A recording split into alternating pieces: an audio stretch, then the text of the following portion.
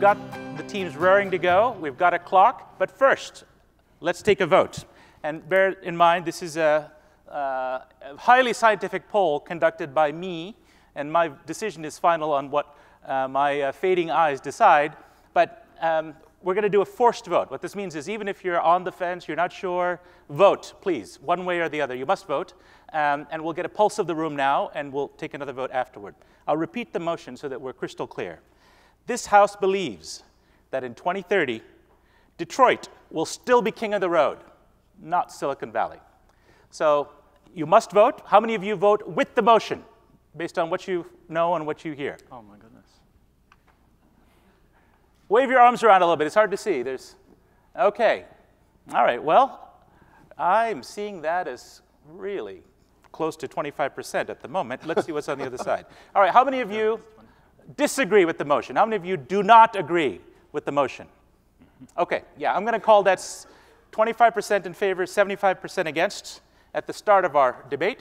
Uh, but let's see what the following minutes bring a couple of things I'm going to let you know on your behalf. I'm going to keep them to time. And I'm not being rude or any ruder than I have been all day, but they've been warned. I will keep them to time in the interest of fairness. And the usual debating tricks of trying to uh, change the motion as you go along or uh, slip, slip and slide around, I will be on guard as well on those, and both teams have been put on notice. Um, let's go. Uh, team in favor of the motion, as is protocol, you get the first uh, first introductory statement, four minutes. Now? Now. Well, well give, him a, give him a bit of applause to get him going. Very good. The question is simply preposterous. Of course, everyone in this room knows in your heart that digits plus widgets, and we just heard this, are the true outcome, the true future of automotive transportation. The House believes that in 2030, Detroit will still be king of the road. And there are some simple reasons, which I'm sure you'll agree with me uh, as I hold forth here. First of all, Silicon Valley can't profitably build anything larger than a Roomba. Now, you may doubt me. You may think, oh, what about Tesla? Well, Tesla is the exception that proves the rule. Apple designs in California but builds in China. Tesla, market cap $38 billion. Their net income, anybody might hazard a guess, over the last three years, it was negative $1.8 billion. GM's net income was about $23 billion in the same period. They're great innovators, Tesla may be, but they can't run like a software company forever. The economics simply do not work. Second, we believe that we should be pre preparing for the revenge of the 100 year old company. It's simply implausible and inaccurate to short experience, client relationships, legal structures, capital structures, supply chain management, and more importantly than all of that, the access to the data. And some companies have nearly have decades or even 100 years of data. Airlines, banks, insurance companies, car companies. It is simply laughable to think that Silicon Valley can overtake that in just a few years. They should stick to digits, not widgets. Third, Elon. Two minutes. Two minutes. Elon Musk knows a lot about a lot, but he knows very little about people. He's right now giving a search, a speech asserting the benign situation with ultra intelligent AI is that we, we would be, we humans would be so far below in intelligence, we'd be like a pet or a house cat. Now, Anybody that has seen the recent political upheaval globally, regardless of what side you land on, knows that humans cannot be domesticated. Silicon Valley will not be able to accomplish that. The techno dystopians are as wrong now as they ever have been. Finally, this is Detroit's race to lose. There's no doubt the race is on, but it's Detroit's race to lose, but they are already moving. Ford, GM are doubling down on artificial intelligence. They're building their own software.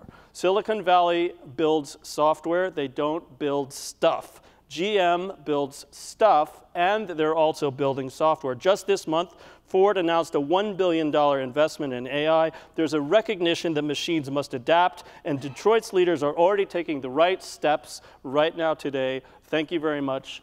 You may have how much time? Uh, you're, you're, whenever you finish, you, if you, you yield your time, that's it. I yield my Thank time you. to you. Thank you. Um, we, we now turn to the first. First of all, give a round of applause for a, a robust opening. Thank- Thank you for, for keeping within your time. So we heard um, uh, digits and widgets are going to win. Um, uh, a needless swipe, I thought, at the poor little Roomba. What did it ever do to you? Um, and the revenge of the really old companies. Okay, so we see the first battle line drawn. Let's see what the side opposite has to say. Give him a little round of applause to get, get him going. All right. Sir, the floor is yours.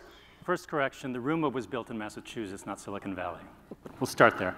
Uh, digits versus widgets, this is the perfect argument. Two thirds of the last car you bought was made of steel. Steel is really important, it turns out, in building cars. It provides the structure of the car, it keeps you safe if you happen to get into an accident. We can't have cars without steel, or maybe a little bit of aluminum, but let's say mostly steel. But if this debate today, if the question was, who will be the king of the road, the auto industry or the steel industry, none of you would be in the room today. It's not an interesting question. No one out there thinks that steel is adding value to the car. Steel is a commodity. As consumers, we don't make decisions based on the quality of the steel. We accept it as a given. It's not steel, it's not a big deal, nobody cares. The question of this debate is in 2030, where will the value in the car lie? Will it be in the software, the brains of the car that will make the car safer and smarter?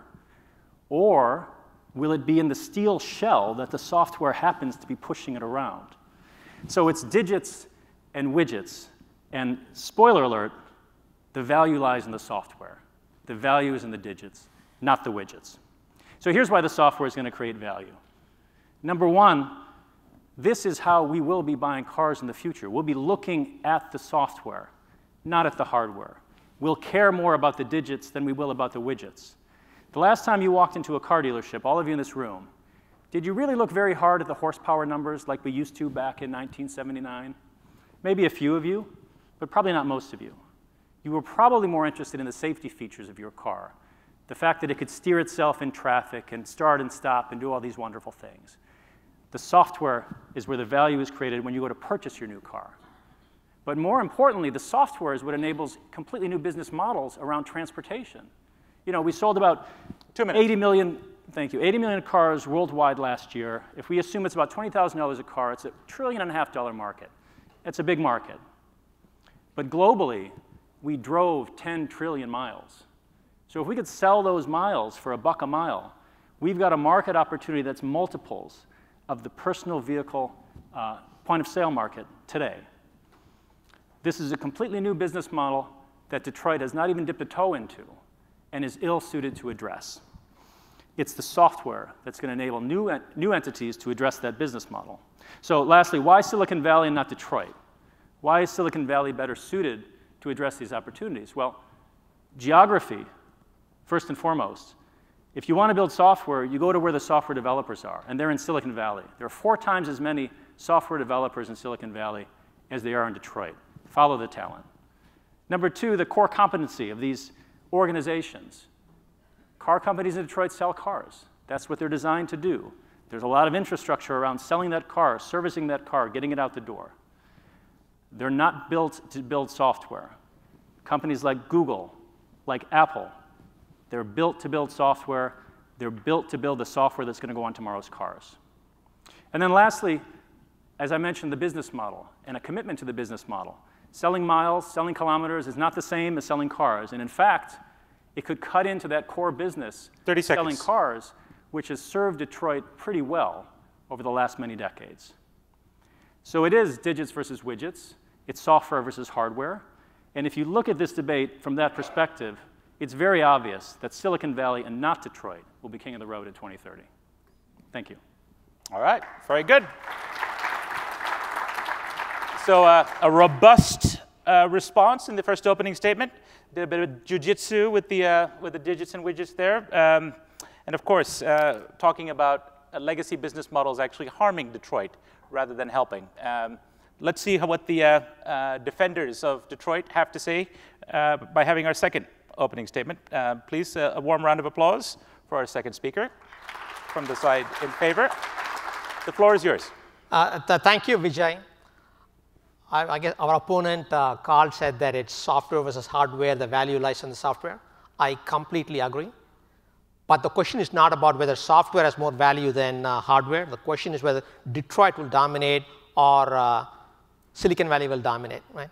The key aspect that you have to keep in mind is that for any entity or any sector to basically extract the maximum value of anything that happens out there is whether you control the platform and the ecosystem around it.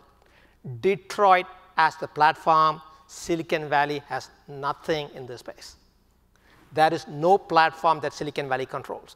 I guess uh, my colleague talked about Tesla basically being negative. I guess uh, their market cap is very high. There is always a bigger sucker born, I guess uh, sucker being born every minute. But basically, if you look at the financial flow, Tesla is not a viable company as far as I'm concerned. And if you look at everybody else, Google started quote unquote building autonomous vehicle technology in 2009 by hiring people from institution and beyond. And today it's about seven, eight years later, they have spent hundreds of millions of dollars, maybe exceeding a billion dollars at, the, at this point in time. They have not made a single penny, a single dollar out of those in investments. When they're going to make their first uh, pieces of money, not clear. I guess they could start making money when the technology is completely mature. You replace uh, a human driver with a completely driverless operation. That's going to take many, many years. So who controls the, I guess Google like, controls Android, Apple controls the iPhone, but they do not have the underlying ecosystem on which they can actually deliver that value and monetize it. It's just not happening. Okay? And meanwhile, as the automation technology evolves incrementally, there are advanced uh, driver assistance systems, safety features that uh, Carl talked about as well. Those are features that the car makers are the ones who are introducing on an incremental, evolutionary, natural, organic basis. They are the ones actually monetizing it as we speak. And then as more and more features like uh, uh, Super Cruise on the highways show up. Two minutes. They will actually uh, benefit even more, right? It, it, may take 10 years, 15 years for the human to be completely replaced. The automakers will be making throughout the process. Google slash Waymo, right? Uber, for example, Uber started their uh, autonomous vehicle research in Pittsburgh again. Uh, I guess uh, spending up to a billion dollars? But they do not have the business model or the mature technology to basically monetize it anytime in the near future. Ask yourself, would you bet on Uber, which is basically losing upwards of uh, 200, maybe two to three billion dollars every year? How long are they going to be around in, in, in order to be, be investing in this space, right? Absolutely no platform to build up on. Um, so that's number one. So it's a lack of platform. The second thing I would say is that uh, building a vehicle is no easy task. Tesla, by the way, Tesla Motors is no longer Tesla. They even basically even renamed the company basically as Plan B, or basically will actually be a battery company. Plan C will actually will uh, sell batteries uh, to uh, consumers, right? Plan D, uh, maybe we'll take uh, people on uh, SpaceX to the moon, right? Maybe to Mars. What is going on here? This is not a car company to even speak of, right? Uh, uh, thirdly, I guess I guess already talked about the business model and incremental automation. Let's talk about uh, alliances, right? So for example, I guess because they understand they do not have the platform, Google, for example, has been deploying these uh, 30 pods, uh, these pods, if you will, and they basically now have said that we are not going to be building cars anymore. They're just basically placing random bets on random things, and they're realizing that they, they cannot really cut it because they do not have the supply chain, the relationships, the capacity to basically design a vehicle, assemble it, sell it, support it, deal with recalls several years down the road and so on, this is not for the meek. Right? So take the underlying business model of Silicon Valley. Google or Apple, if they actually have a profit margin of less than 40%, it's been a bad year. All right, we're going to have to let that be there. All right, give them a, round of applause. We can see the gloves are off. Well, had there been any genteel uh, overtones, it's gone now. Not only is there no platform, no profits, now he started to, uh, you know, trash talk the companies themselves. You ain't no car company. Okay, let's turn to our uh, final opening remarks. Uh, please, a round of applause to cheer him on.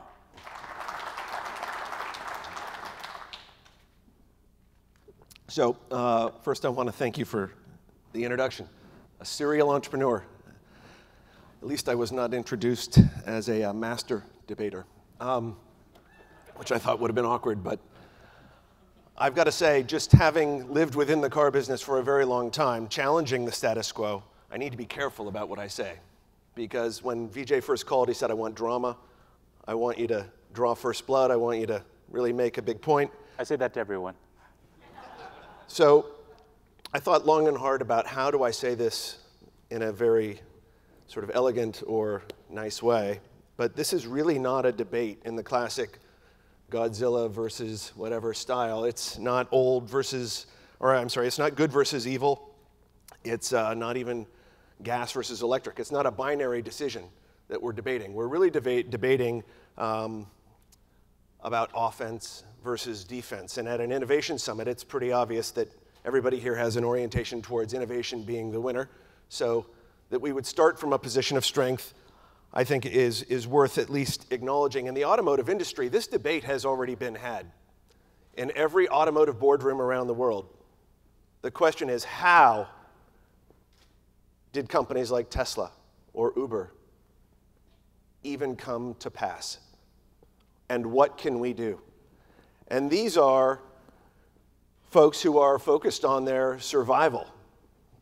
And this concept of what we're debating up here is really offense versus defense, is really not as much about who's going to be the king of the road as it is about can the old school defend itself?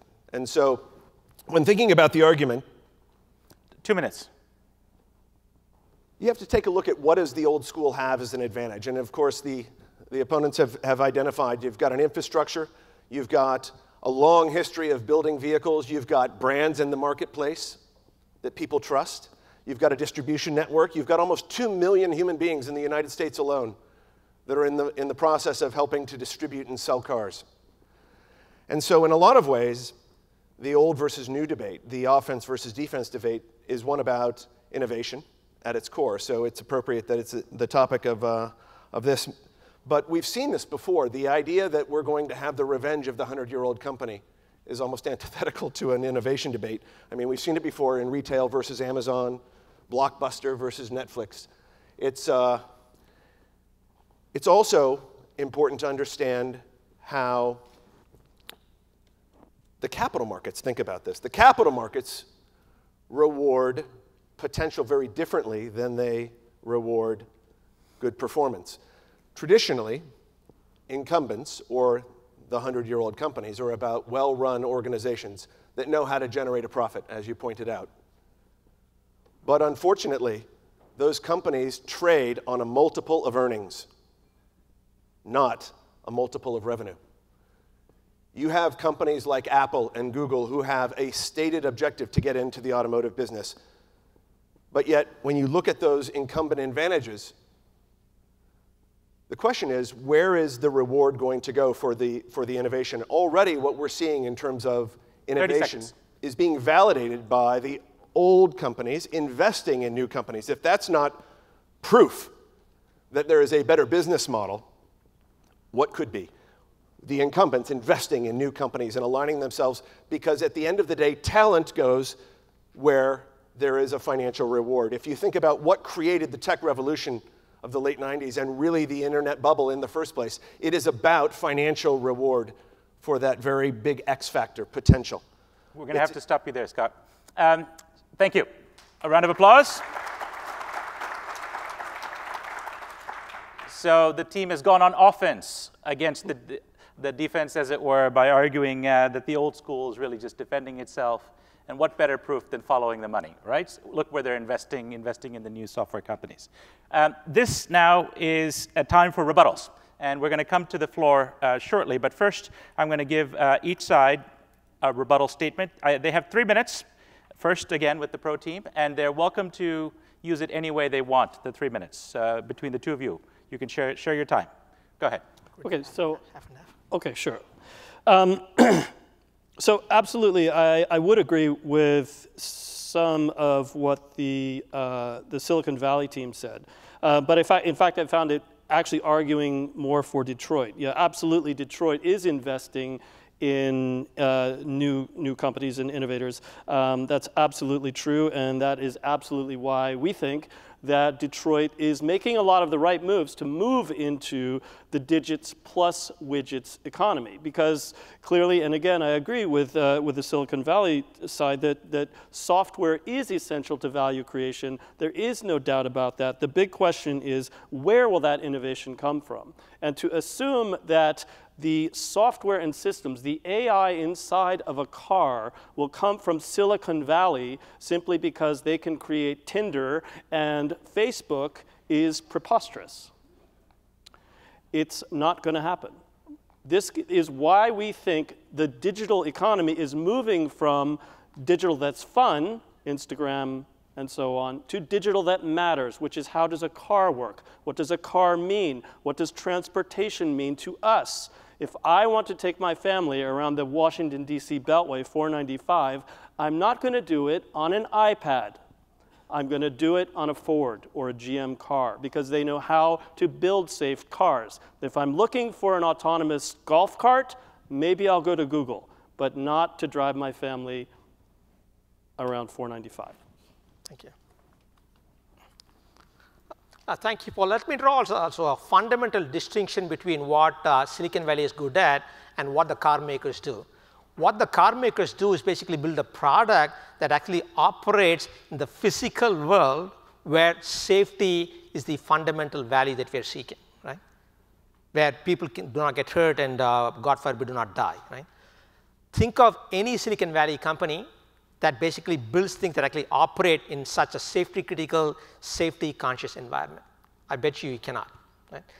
Writing software for, an, for an IT device is very different from basically building something that has been tested to very rigorous standards. And when things go, do, uh, when go wrong, they do go wrong, you need to be able to deal with that. So that nature of physicality uh, basically makes a huge difference uh, in the, the two, two ecosystems. 30 and then, seconds. And today, from a startup perspective, you basically are doing a startup in uh, AI or anything else in the automotive vehicle space. Your dream is to be bought out by a car maker, right? So GM basically buying Cruise Automation, Ford buying Argo AI, uh, GM investing $500 million into Cruise and so on, right? And last but not the least, Apple, the, like one of the biggest companies out there, if you will, maybe the biggest company, bumbling and stumbling in this particular space. All right, tell us what you really think. No, all right, thank you. Thank you for the first rebuttal. Let's hear from the other side. Let's see what you got. So, Paul, you said you would prefer not to drive in a car that was powered by a tech company. You would be somewhat unique. The World Economic Forum just released a study two days ago, and what they found was that two thirds of respondents actually wanted to drive in driverless cars that were put together by both traditional auto companies and tech companies. That was their preferred mode. I will let you guess which part the tech companies are going to do and which part the traditional autos are going to do. I'll give you the answer. The traditional autos are going to do the handset, I mean the car, and the tech companies are going to do the software. Okay? This notion that there's a missing platform is simply false. How many car makers in the world do you think in the audience built last year cars at a volume of more than 10,000? Let's say, you know, significant scale or above. 20, 30, 75. 75 car makers out there are ready and willing to put cars on the road at scale. Silicon Valley doesn't need Detroit if they're looking for a dancing partner. And the notion that the platform is the value, well, Foxconn would like to have a word with you. Apple's making obscene profits, and there's a lot of people sweating it out in those factories in China that would love to capture some of that value and haven't been able to. I would add uh, just what is the definition of king? Um, is it going to be who produces the most cars and just simply gets them out on the road, or is it going to be who creates the most value as an enterprise for doing that? I can see an argument where you could say Detroit's going to be distributing Silicon Valley's innovations, but if that's the definition of king of the road, that's probably a near term likelihood because physics are what it is. You've got an existing distribution system and you have just an overwhelming large scale advantage in terms of what's happening. But today, if you looked at Tesla's market cap to cars sold ratio, it would mean that Ford would be worth about $2 billion, not $49 billion. Tesla today is nearly $45 billion in market cap. It is being rewarded for delivering that innovation. And so I think the, the really interesting thing about platform is while it is an important thing, it's not the heart of the issue. It's sort of where Detroit has missed the point. It's where the old school has missed the point entirely, and where not just Silicon Valley, but the new school in technology has a huge advantage. It's about the customer, the platform versus the customer. We are in the most dynamic era of automotive innovation in automotive history. 30 seconds. More is up for grabs right now than has ever been before. There is more money that is willing to invest in new ideas that are disruptive than ever before. It's probably why you all have a natural bias towards the argument that innovation and the new school will win. But at the end of the day, all of that will lead to lots of new innovation where we begin to think about how we relate to cars very differently. It's really about the car becoming a service. And that is an area where Detroit cannot compete. Because if you, You have to leave and- it there, Scott. That is an area where Detroit cannot compete. Um, so you, you hear the argument platform, no platform. Uh, this is where the, uh, the, the grown ups are. The software is not all same. These are the, this is the innovation crowd um, are making their case. Now, let's open it up to, to you. Um, you have your chance now to ask the two sides a question. Uh, I will also join in to keep them honest on this. Um, anybody want to take the, uh, the first jab? Who wants to ask a question of one side or the other? I'll, I'll do my best to even out the, uh, uh, the punches, of course, in fairness. Let's get a, a, a microphone to the gentleman here. Oh, sure, yes. Go ahead. Identify yourself, please. Hi, uh, Sunil Radia from RGA. We do business transformation work. Sure. Um, I had a question about the role. For which side, if you can tell us? Oh, I was hoping both would answer this. All right, okay. Well, let's, let's see how good the question is. Go on. But, but you know what? I'll, I'll go with uh, four. You're going to direct it to the pro team, okay? To the pro team. Although I, I encourage both sides to jump in if you want to uh, challenge an answer or uh, you know in any way um, uh, advance your cause. This is the time to do it. Uh, so yes, go ahead. How important is the ability to deliver high service in this future, given mobility shifting toward being more service oriented and, and certainly uh, autonomous is enabling that? Um, and there may be some geographical differences in, in how those locations think about the role of service. Okay. Question was directed to your team. I would uh, readily concede to what uh, Carl said earlier. Uh, there is a lot of value uh, in the software side, in the services side, mobility as a service, uh, I guess, uh, think car sharing. Uh, the question is who gets there first, who basically has control of the platform, right? For example, the uh, analogy with Foxconn, I thought was very disingenuous. Uh, right? Foxconn just manufactures on contract, right? The design and the platform is owned by Apple, right? So here the cars are owned by the car makers, not by any of these companies. So whatever Apple and Google are good at, basically the GMs and the Fords of the world are investing billions of dollars as we speak the best brains, if you will, and the startups and so on. Basically, they understand that there is a lot of value in the software stack. They're actually trying to squeeze that out right now. And as long as they control the platform, they're in good shape. Any challenge from the side opposite?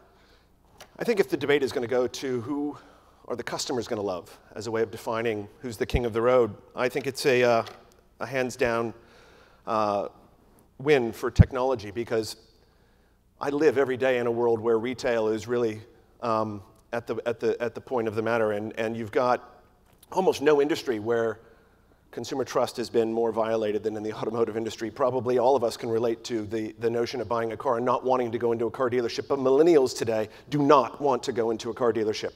So if you look at the incumbent advantages of, of the old school, you've got infrastructure, talent, brand, and business model. And I would say that on all four fronts, the argument is, is not sound for, for the old school. In terms of the infrastructure, it becomes a legacy problem.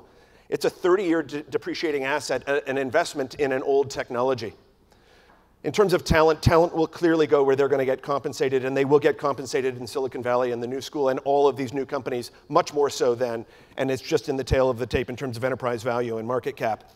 In terms of brand, you've got more global automotive brands leaving the stage than ever before. You've got 100 year old brands that are wiping out in favor of 10 year old new startups like Tesla. You've got I think brand attached to a very fundamental proposition, which is this business model issue, this distribution, which is really the last and final anchor, albatross around the neck of the old school, which is if you have to sell cars into a push distribution system, you are selling what fundamentally does not match consumer demand. If you are pull based manufacturing, you have all of the advantages of a greenfield approach where you are able to actually satisfy the customer's needs from, from ground one. Let, let me stop you there, Scott. You've, you've uh, had a good run there. Uh, let's, let's get a, a, few more questions. I'm pleased to see uh, three or four hands, so let's make them sharp questions and sharp answers, please. Great. This is for the Silicon Valley side. Okay. Jason with Javi. Uh, my question for you Apple is a good example, very cash rich right now. Um, if they were going to do this, why would they release Apple CarPlay and things like that to these competitors? If they really thought they could build cards, what are they waiting for? Well, I would, you know, it's not at all clear that Apple's going to build a car.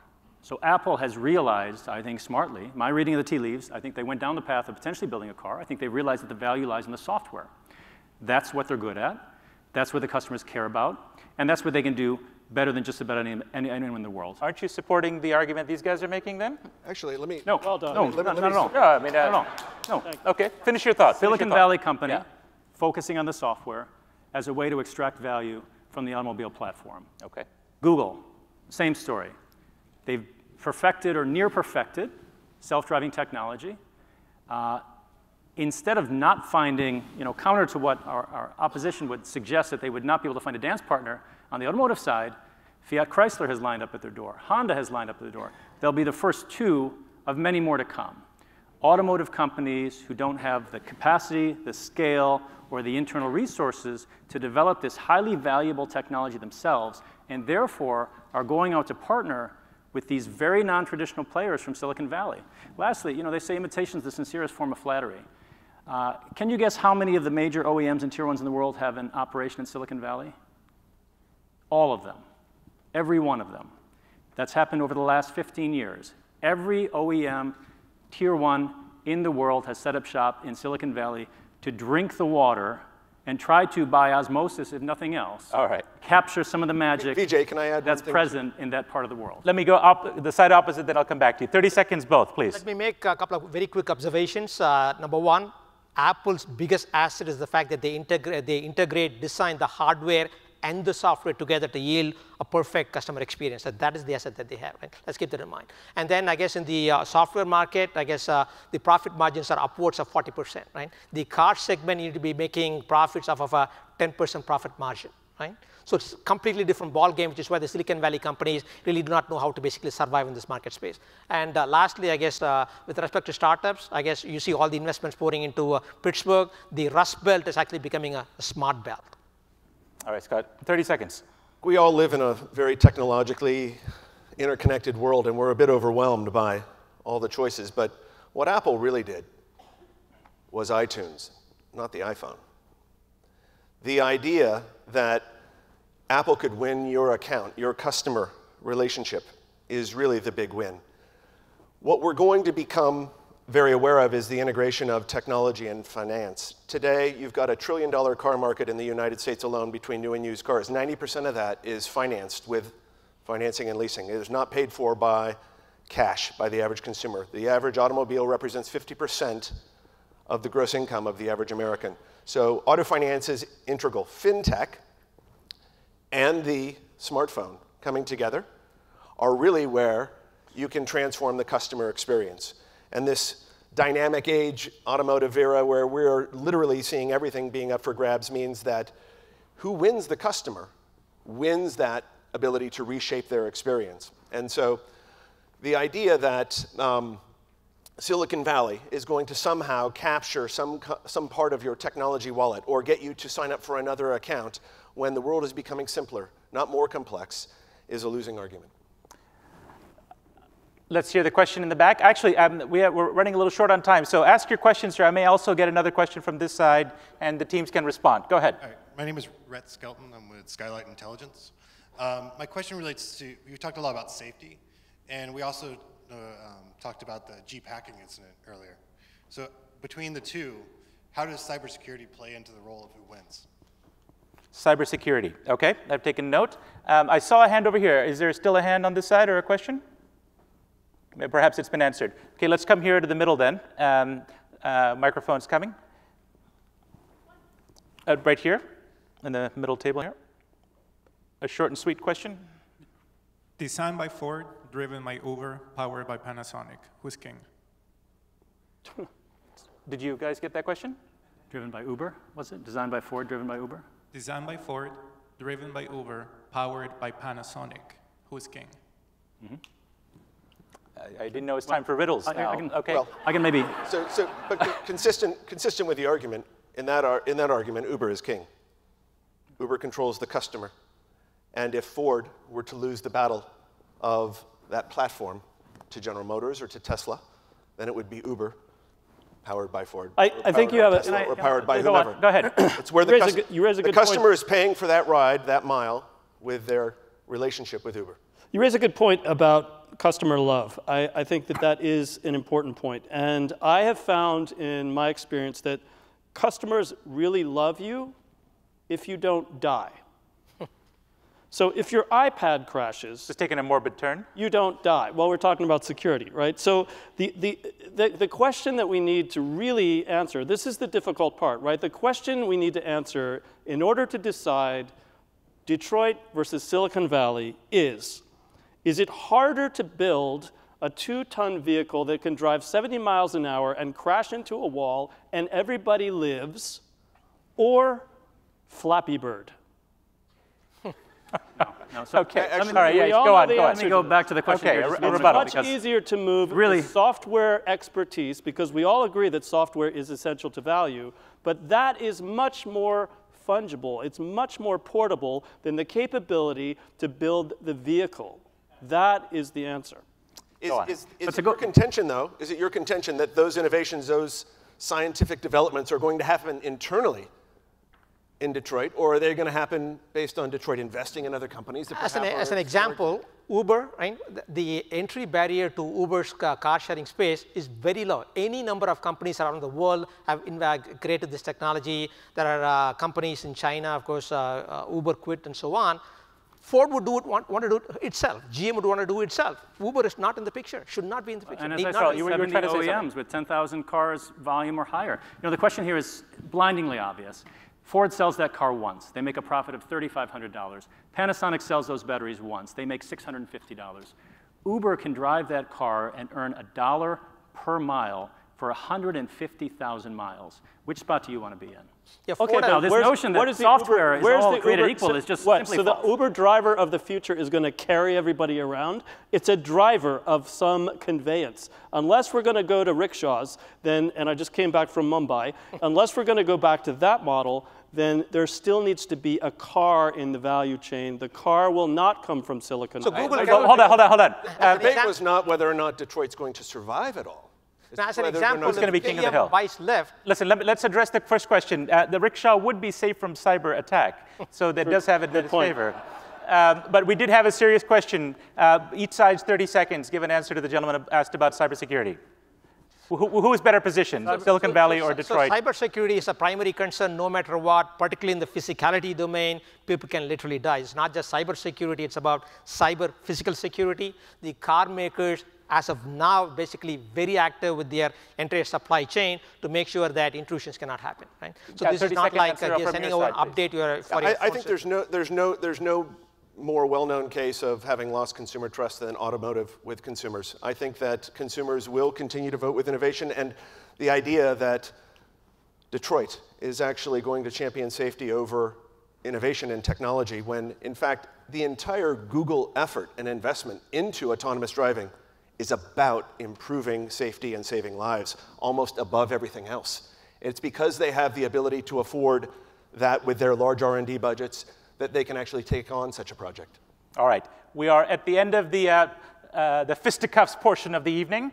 Um, we will now give each side two minutes uh, to divide as they, as they choose um, uh, amongst themselves uh, to, place the, the, to present the final case in front of you, and then we'll take the vote.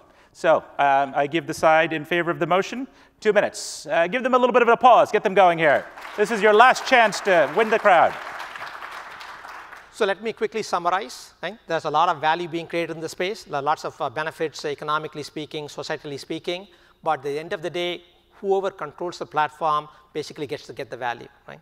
Uh, so with respect to the platform, the car makers have it, right? And they actually have uh, realized that actually they actually have the platform, investing big time, uh, uh, recruiting talent and so on, including basically having uh, uh, startups in the mix. Ford's investment being a case in point. Second, I guess the value add services like Uber, basically instead of them actually ally, striking alliances with Uber, they just need to basically build their own technology or buy a company in space like Lyft. They basically get to keep the whole pie. Stop there.